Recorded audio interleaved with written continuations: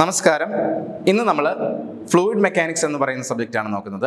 മെക്കാനിക്കലിലെ important ആയിട്ടുള്ള ഒരു ടോപ്പിക്കാണ് fluid mechanics assistant motor vehicle ഇൻസ്പെക്ടറിന്റെ last നടന്ന എക്സാമിൽ നമ്മൾ ഇവാലുവേറ്റ് ചെയ്താൽ നമുക്ക് മനസ്സിലാവും അതിലൊരു നാല് ക്വസ്റ്റ്യൻസ് ആണ് ഫ്ലൂയിഡ് മെക്കാനിക്സ് പാർട്ടിൽ നിന്നുണ്ടായിരുന്നത്. അപ്പോൾ ആ ഒരു ക്വസ്റ്റ്യൻ ലെവൽ മനസ്സിലാക്കി ആ രീതിയിൽ മാത്രം നമ്മൾ പഠിച്ചാൽ മതിയാവും. ഓക്കെ അപ്പോൾ നമ്മുടെ ഫ്ലൂയിഡ് മെക്കാനിക്സ് ക്ലാസ് നമുക്ക് സ്റ്റാർട്ട് ചെയ്യാം.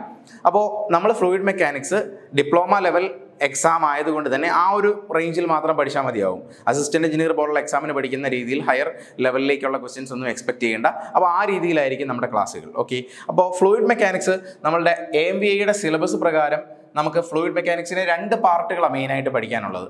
നമ്മുടെ ക്ലാസ്സുകളും ആ രീതിയിൽ മാറ്റുന്നു. രണ്ട് പാർട്ടുകളൊന്ന് നമ്മൾ ആദ്യം ഫ്ലൂയിഡ് പ്രോപ്പർട്ടീസ് ആയിരിക്കും ആദ്യത്തെ ക്ലാസ്സിൽ പഠിക്കുന്നത്. ആദ്യം നമ്മൾ പഠിക്കുന്നത് ഫ്ലൂയിഡ് എന്താണ് ഫ്ലൂയിഡിന്റെ ഇമ്പോർട്ടന്റ് പ്രോപ്പർട്ടീസ് തുടങ്ങിയ കാര്യം. അതുമായിട്ട് ബന്ധപ്പെട്ട ചെറിയ പ്രോബ്ലംസ് കാര്യങ്ങളാണ് ആദ്യത്തെ ക്ലാസ്സിൽ പഠിക്കുന്നത്. രണ്ടാമത്തെ പാർട്ടിൽ നമ്മൾ പഠിക്കുന്നത് fluid pressure measurement fluid pressure measurement fluid measurement pressure മെഷർമെന്റിനെ പറ്റിയാണ് നമ്മൾ അടുത്ത ക്ലാസ്സിൽ പറയുന്നത്. അതിനകത്ത് തന്നെ നമ്മൾ പാസ്കൽസ് ലോസ് ഉണ്ട്. അതുപോലെ പ്രഷർ ഹെഡ് എന്താണ്? Pressure atmospheric pressure absolute pressure gauge pressure vacuum pressure തുടങ്ങിയ ടേംസ് അതുപോലെ measuring instruments U tube manometer differential manometer അങ്ങനെയുള്ള കാര്യങ്ങൾ. അതുപോലെ അതുമായിട്ട് ബേസ് ചെയ്ത ചെറിയ പ്രോബ്ലംസ് ഇത്രയുമാണ് നമ്മളുടെ എ എം വിയുടെ സിലബസിൽ പ്രിസ്ക്രൈബ് ചെയ്തിരിക്കുന്ന കാര്യങ്ങൾ. ഓക്കെ അപ്പോൾ ഇതാണ് നമ്മൾ ഓവറോൾ ഫ്ലൂയിഡ് മെക്കാനിക്സിനെ പറ്റി പഠിക്കുന്ന കാര്യങ്ങളെന്ന് ഓർക്കുക. അപ്പോൾ ഇന്നത്തെ ക്ലാസ്സിൽ നമ്മൾ പഠിക്കുന്നത് എന്തൊക്കെയാണെന്ന് ആദ്യം പറയാം. ഇന്നത്തെ ക്ലാസ്സിൽ നമ്മൾ ആദ്യം എന്താണ് ഫ്ലൂയിഡ് എന്ന് പഠിക്കും. What is a fluid fluid mechanics എന്ന് പറയുന്നത് ഫ്ലൂയിഡിനെ പറ്റി പഠിക്കുന്നതാണ് അല്ലേ? ആദ്യം എന്താണ് ഫ്ലൂയിഡ് എന്ന് പഠിക്കണം. അതിനുശേഷം ഫ്ലൂയിഡിന്റെ ഇമ്പോർട്ടന്റ് ആയിട്ടുള്ള കുറച്ച് പ്രോപ്പർട്ടീസ് ഒരു പത്ത് പ്രോപ്പർട്ടീസ് ആണ് ഞാൻ എഴുതി വെച്ചിരിക്കുന്നത്. ഈ പത്ത് പ്രോപ്പർട്ടീസ് ആണ് നമ്മൾ ഇന്നത്തെ ക്ലാസ്സിൽ പഠിക്കാവുന്നത് കാരണം ഇത് വളരെ ഇമ്പോർട്ടന്റ് ആയിട്ടുള്ള ഒരു കാര്യമാണ്. കാരണം നിങ്ങൾക്ക് നോക്കിയാൽ മനസ്സിലാവും ഇന്നത്തെ ക്ലാസ്സിൽ പറഞ്ഞിരിക്കുന്ന ഒരു പോയിന്റ് അതായത് ഇതിൽ നിന്ന് ഞാൻ പറഞ്ഞു വരുമ്പോൾ മനസ്സിലാവും നിങ്ങൾക്ക്.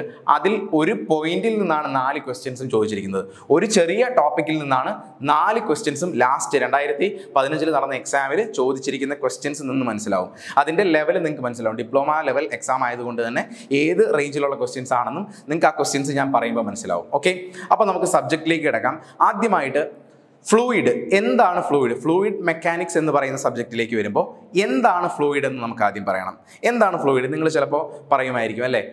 Fluid is any substance which flow എന്ന് പറയുമായിരിക്കും. പക്ഷേ നമ്മളൊരു ഫ്ലൂയിഡ് മെക്കാനിക്സ് സബ്ജക്റ്റ് പഠിക്കുന്ന സമയത്ത് ഈ ഡെഫിനിഷൻ മതിയാവില്ല. അതുകൊണ്ടാണ് എന്താണ് ഫ്ലൂയിഡ് എന്ന് ചോദിച്ചാൽ നമുക്ക് ഫ്ലൂയിഡിന് കൃത്യമായ ഡെഫിനേഷൻ പറയണം. എന്താണ് പറയാൻ പറ്റുന്നതെന്ന് വെച്ചാൽ നമുക്ക് സോളിഡ്സിനെയും ഫ്ലൂയിഡ്സിനെയും കമ്പയർ ചെയ്ത് പറയാം.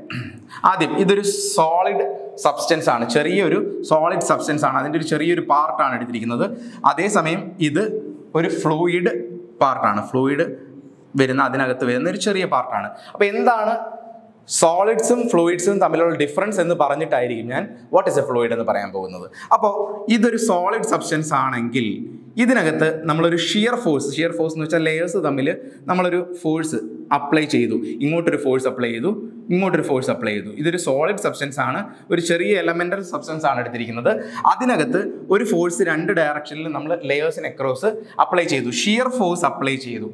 അപ്പോൾ എന്തായിരിക്കും സംഭവിക്കുന്നത്? ഇങ്ങനെ ഒരു ഇങ്ങനെ ഒരു സബ്സ്റ്റൻസ് ആണെങ്കിൽ എന്തായിരിക്കും സംഭവിക്കുന്നത്? അപ്പോൾ ഇതിന്റെ ഷേപ്പ് ചേഞ്ച് ചെയ്തു ഇങ്ങോട്ട് അല്ലേ? ഇങ്ങനെ ഷേപ്പ് ചേഞ്ച് ചെയ്തു. അപ്പോൾ ഡിഫോം ചെയ്തു. സോളിഡ് സബ്സ്റ്റൻസ് ഡിഫോം ചെയ്തു. ഇങ്ങനെ ഡിഫോം ചെയ്തു. പുതിയ ഒരു ഷേപ്പിലേക്ക് വന്നു. അതിനുശേഷം ഈ ഫോഴ്സ് നമ്മൾ റിലീസ് ചെയ്യുമ്പോൾ ഈ ഫോഴ്സ് റിലീസ് ചെയ്യുമ്പോൾ ഈ ഒബ്ജക്റ്റ് തിരിച്ച് പഴയ പൊസിഷനിലേക്ക് എത്തുന്നു. ഈ പ്രോപ്പർട്ടിയാണ് എലാസ്റ്റിസിറ്റി എന്ന് പറയുന്നത്. ഇത് സോളിഡ്സിന്റെ പ്രോപ്പർട്ടി ആണെന്ന് പറഞ്ഞു. അത് നിങ്ങൾ ചിലപ്പം സ്ട്രെങ്ത് ഓഫ് മെറ്റീരിയൽ സബ്ജക്റ്റിൽ പഠിക്കുന്ന കാര്യം തന്നെയാണ്. ഞാൻ ഒന്നുകൂടി പറഞ്ഞു എന്നേ ഉള്ളൂ. അപ്പോൾ ഒന്നുകൂടെ ശ്രദ്ധിക്കുക. സോളിഡ്സ് സോളിഡ്സിൽ നമ്മൾ ഒരു ഷിയർ സ്ട്രെസ് അല്ലെങ്കിൽ ഷിയർ ഫോഴ്സ് അപ്ലൈ ചെയ്യുമ്പോൾ ആ ബോഡി ഡിഫോം ചെയ്യുകയും ആ ഫോഴ്സ് റിലീസ് ചെയ്യുമ്പോൾ തിരിച്ച് ഇനിഷ്യൽ പൊസിഷനിൽ എത്തുകയും ചെയ്യും. അതാണ് സോൾട്സിന്റെ പ്രത്യേകത. ഇനി അതേസമയം ലിക്വിഡ്സ് ലിക്വിഡ് ലെയർ ലിക്വിഡ് ലെയറിലെ ഒരു ചെറിയ എലമെന്റ് ആണ് ഞാൻ എടുത്തിരിക്കുന്നത്. അതിന് ലിക്വിഡ് ലെയറിൽ നമ്മൾ ഒരു ഷിയർ ഫോഴ്സ് അപ്ലൈ ചെയ്താൽ എന്താണ് സംഭവിക്കുന്നത്? എന്നുകൂടി ശ്രദ്ധിക്കാം. അല്ലെങ്കിൽ ഈ ലെയർ ഫിക്സഡ് ആക്കി കൺസിഡർ ചെയ്യാം. ഈ ഷിയർ ഫോഴ്സ് ലിക്വിഡ് ലെയറിൽ നമ്മൾ ഇതാ ഇങ്ങനെ ഒരു ഷിയർ ഫോഴ്സ് കൊടുത്തു. അപ്പോൾ അതിന്റെ ഷേപ്പ് ചേഞ്ചസ് ടു ദിസ് ഇങ്ങനെ ഒരു ഡിഫോർമേഷൻ ലിക്വിഡ്സിൽ ഉണ്ടാവും. അല്ലേ? ഒരു ടൈം നമ്മൾ ടി ഇസ് ടു സീറോ എന്ന് പറയുന്ന ടൈമിലാണ് ഈ ഫോഴ്സ് കൊടുത്തത്. ടി ഇസ് ടു വൺ എന്ന് പറയുന്ന ടൈമിലാണ് ദാ ഇത്രയും ഡിഫോർമേഷൻ വന്നത്.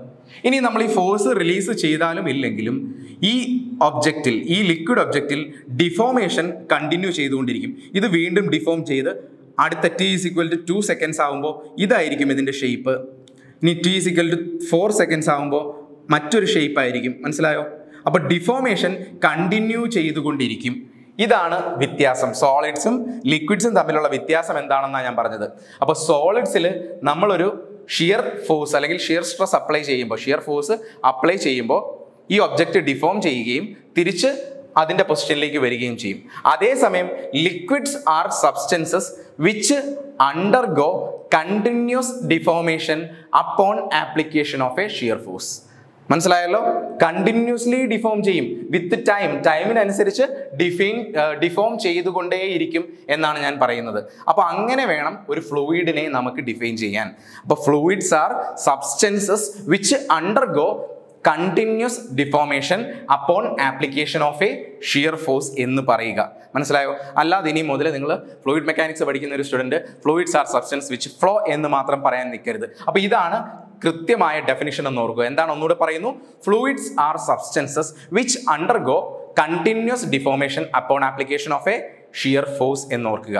അപ്പോൾ ഫ്ലൂയിഡ് മെക്കാനിക്സിൽ ഫ്ലൂയിഡ് എന്താണ് എന്ന് നമ്മൾ പഠിച്ചു. ഇനിയും എന്താണ് ഫ്ലൂയിഡ് മെക്കാനിക്സിൽ നമ്മൾ പഠിക്കുന്നത്? ഫ്ലൂയിഡ് മെക്കാനിക്സിൽ നമ്മൾ പഠിക്കുന്നത് മെക്കാനിക്സ് എന്ന വാക്ക് കേൾക്കുമ്പോൾ ഓർക്കണം. മെക്കാനിക്സ് എന്ന് വെച്ചാൽ ഫോഴ്സിനെ പറ്റിയാണ് പഠിക്കുന്നത്. മനസ്സിലായോ? ഫോഴ്സിനെ പറ്റി. അപ്പോൾ ഒരു ഫ്ലൂയിഡ് എലമെന്റിൽ ആക്ട് ചെയ്യുന്ന ഫോഴ്സുകളെ അല്ലെങ്കിൽ അതിനകത്ത് ഫോഴ്സ് പെർ യൂണിറ്റ് ഏരിയ എന്ന് വിളിക്കാം പ്രഷർ എന്ന് വിളിക്കാം അല്ലേ? ഒരു ഫ്ലൂയിഡ് എലമെന്റിൽ അല്ലെങ്കിൽ ഫ്ലൂയിഡിൽ ആക്ട് ചെയ്യുന്ന ഫോഴ്സുകളെ പ്രഷറുകളെ പറ്റി പഠിക്കുന്ന സ്റ്റഡിയാണ് fluid mechanics whether it is static fluid or dynamic fluid അതായത് സ്റ്റിൽ പൊസിഷനിലിരിക്കുന്ന അനങ്ങാത്ത സ്റ്റാറ്റിക് ആയിട്ടുള്ള ഫ്ലൂയിഡ് ആണെങ്കിലും അല്ലെങ്കിൽ മൂവ് ചെയ്യുന്ന ഫ്ലൂയിഡ് ആണെങ്കിലും രണ്ടിനെയും പറ്റിയും നമ്മൾ പഠിക്കുന്നു ഫ്ലൂയിഡ് മെക്കാനിക്സിൽ അങ്ങനെ സ്റ്റാറ്റിക് ആയിട്ടുള്ള ഫ്ലൂയിഡ് പഠിക്കുന്നതിനെ ഫ്ലൂയിഡ് സ്റ്റാറ്റിക്സ് എന്ന് വിളിക്കുന്നു. മൂവ് ചെയ്യുന്ന ഫ്ലൂയിഡ് ഫ്ലൂയിഡ്സിൽ ആക്ട് ചെയ്യുന്ന ഫോഴ്സിനെ പറ്റി പഠിക്കുന്നത് ഫ്ലൂയിഡ് ഡൈനാമിക്സ് എന്ന് വിളിക്കുന്നു. ഓക്കെ അപ്പോൾ സബ്ജക്റ്റ് എന്താണ് എന്ന് മാത്രമാണ് ഞാൻ പറഞ്ഞത്. ഇനി നമുക്ക് ഫ്ലൂയിഡ്സിന്റെ ഇമ്പോർട്ടന്റ് ആയിട്ടുള്ള പ്രോപ്പർട്ടീസ് ആണ് പരിചയപ്പെടാനുള്ളത്. Properties of fluids